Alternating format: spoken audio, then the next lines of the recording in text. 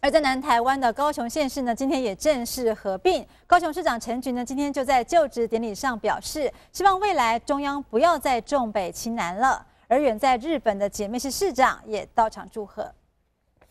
批示第一份公文，陈菊正式接任合并后的第一任高雄市长。就职典礼上，不止谢长廷和叶菊兰两位前市长都来观礼，连日本的姐妹市包王子市市长也来共襄盛举。我们希望在这里为大高雄的市民朋友发声，我们要求中央重视南方，我们希望争取充沛的资源。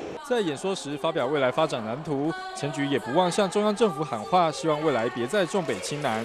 典礼后，陈菊也到议会关心议长选举，对于民进党无法府会完全执政，他也表示接受与尊重。民主就是说不一定都能够大家充分的满意，可是民主就说你不满意，但是经过民意的决定，我们可以接受。希望大家在历史的转捩点。啊，都能够为大高雄的发展抛弃南地的思维。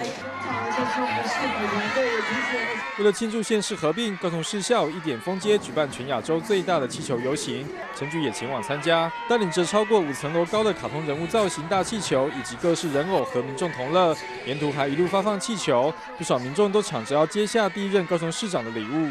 记者文志松、汪全高雄报道。